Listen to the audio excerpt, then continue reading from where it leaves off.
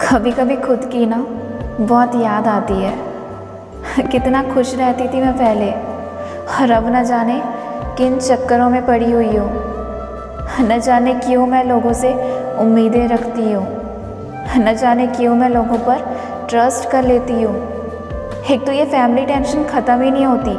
और दूसरा दूसरा जिसे अपना समझो, वही गैरों का मतलब समझा जाते हैं।